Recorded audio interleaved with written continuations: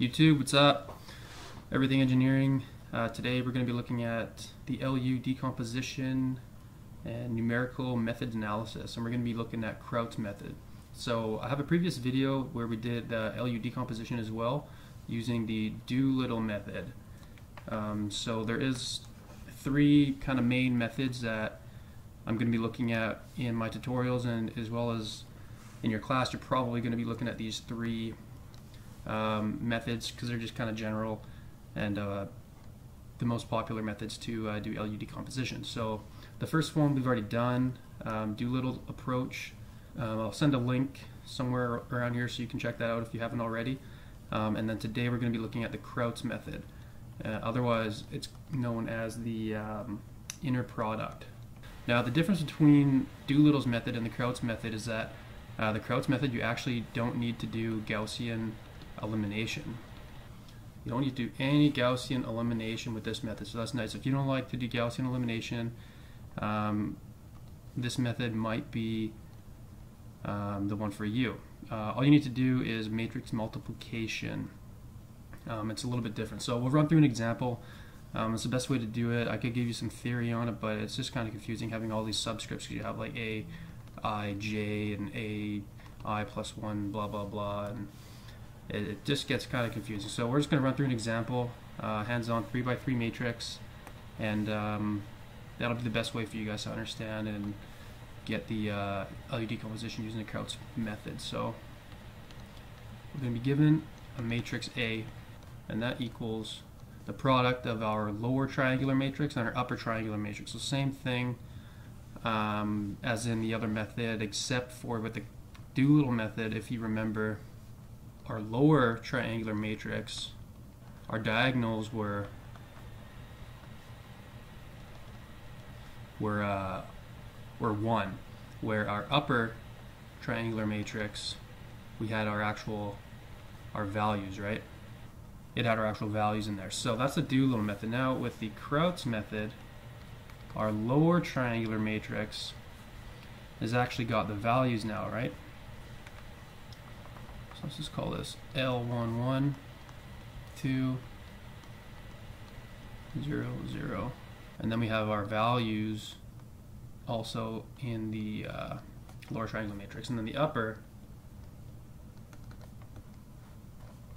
that's now got our 1. So that's the only difference that you need to remember when uh, choosing which method you, that uh, you want to do. So this is basically the setup of our Doolittle method. This is how we want to start our problem. So now let's, uh, I'll give you the matrix, and this is what we're going to be decomposing into our lower and upper triangular matrices. So here we go. So there's our matrix A. Now we can say that equals a product of two matrices, our lower and our upper triangular matrix, okay? So basically for this method, what we've done here, we've set up our matrices, our L and our U, and our matrix A.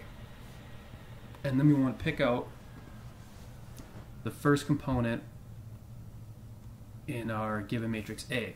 Because if you remember for matrix multiplication, if we were to multiply L and U matrix by each other, this value in our A matrix, the 1, this component is just this product of the first row and the first column, right? Matrix multiplication, basic stuff, that's simple. So let's write this all out. So, for this first element, we can say that 1 is equal to L11, 0, and 0, right? We're just looking at the first row of our lower triangular matrix multiplied by 1, 0, 0. Okay? So this equals 1 because this equals the first component of our given matrix A, row times column, that equals L11 plus 0 plus 0. Therefore, L11 is equal to 1. It's that easy. So now we can look over here. Okay, cross it out, put in a 1. So now we want to look at this guy, the 2. So this is the first row still, but now we're dealing with the second column, okay?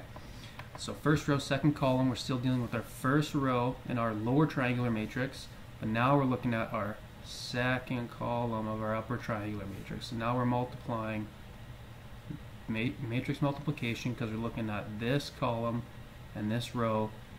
Therefore, the lower triangular matrix, same thing. Row 1, upper triangular matrix is column 2. So do that matrix multiplication and this is what you get. So you set that equal to 2, right? So we have 2 equals, again, these are the same because they're still looking at the first row of our big matrix, therefore we're using the first row of our lower triangular matrix. So now that's multiplied by our second vector. So u1, 2, 1, and 0. And notice that we've solved for L1, 1, right? We know that this is equal to 1, so let's put that in there.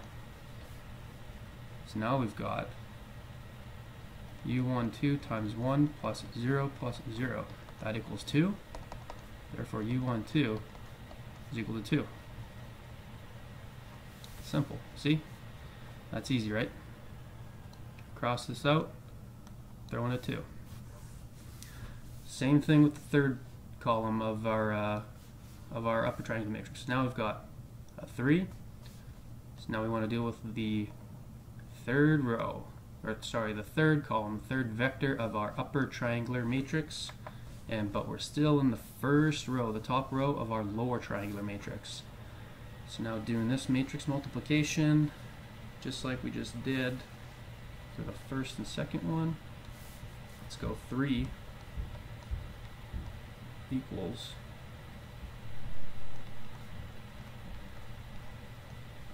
remember this is 1 now we're dealing with u1 3 u2 3 and 1 right? Multiplying this out u1 3 plus 0 plus 0 perfect u so 3 equals u1 3 alright so we found the first rows of our upper and our lower triangular matrices now let's start picking away at the second rows. And this looks like crap, so let's just rewrite it out, make things a little bit neater for us. So again, we'll look at our A. So now I'm just going to put in the values that we just solved for up here for our L11. Remember that is equal to 1, right? So I'm just going to put that in there, just make sure you guys know where that came from. And we're still looking for L21, L22, and so on. And our upper triangular matrix, we've almost solved. So I'm just going to fill in these values. All we need left is this, U2, 3, right? So we've got 2 and 3 up there. Remember where these came from. Remember these were from here and up there, right? So that's where those guys came from. Just don't forget about that. Uh, okay, so now we've cleaned this up a little bit. Let's start picking away at our second row. Our second row of our lower triangular matrix, and then we're going to get our um, U23. So we're not dealing with the first row anymore. We're done with that. We need to look down at the second row. So starting off at number 2, see the matrix multiplication for the second guy. So 2 equals. Now remember we're dealing with the first column of this and the second row. So we've got the second row on the lower triangular matrix, and then we're still looking at the first column of the upper. So that's just 1, 0, 0. And that gives us, that's just 2. 2, boom. Alright, so now back to our matrix A. We've got 20, so let's say 20. Alright, so remember this guy, that's just, uh, that's 2. So I'm just going to put that in there. And we're still looking at the, or now, so now we're looking at the second row, second column. So I'm going to circle the second column. So this is what we're multiplying now by, right? Because you got 20, which is in the second row, second row, second column. So now we've got our second row and our second column here, right? So we're multiplying that by 210. So 20 minus 4 equals L22 equals 16. So L22, 16. Alright, so now we need to look at third column, third component of the second row. Then now we're checking out this guy, the third vector, the third uh, column of the uh, our upper triangular matrix. And this is the lower. Okay, so we've got 26.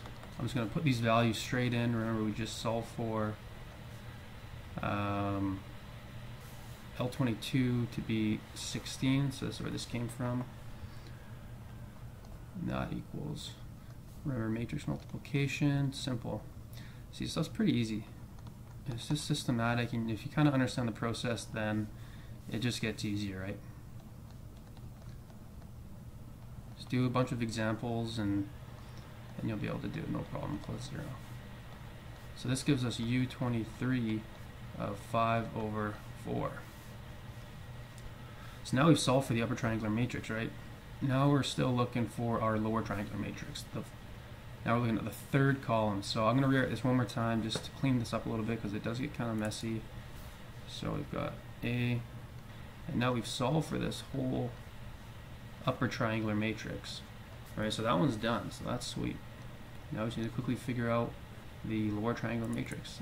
Yep, since we're looking at the third row of the lower, we're now dealing with the third row of the big matrix. So starting us off, set 3 equal to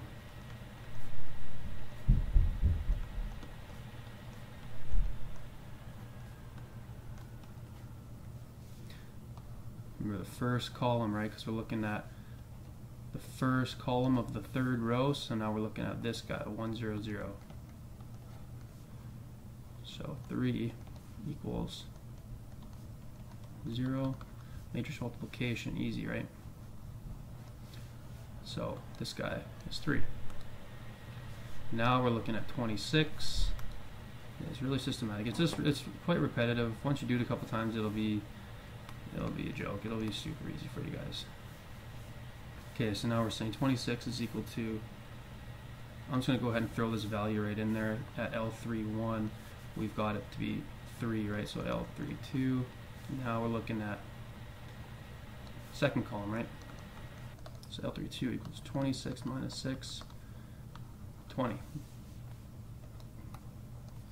Alright, so finally we're looking at the last guy. And yep, it's the same thing again. So easy, let's go 70 equals, we're looking at the third column. Again, I'm just going to go ahead and plug this 20 in as my L32. You've seen it enough times now. 36. Nice. Alright, so now we solve for our lower and upper triangular matrices, and let's just write them out one more time. So our lower triangular matrix and our upper triangular matrix we just solved for using Crout's method, and they are, there we have it, our lower and upper triangular matrices without doing any Gaussian elimination. So no Gaussian elimination here, just matrix multiplication, um, pretty basic stuff. So that's the second method that we've done. So again, I'll link my first uh, video where we did the Doolittle method, and now we just did the Crout's method. So thanks for watching, guys. Uh, subscribe to my channel if you like uh, the content I provide. Um, and also check out my website at everythingeng.com. Thanks for watching.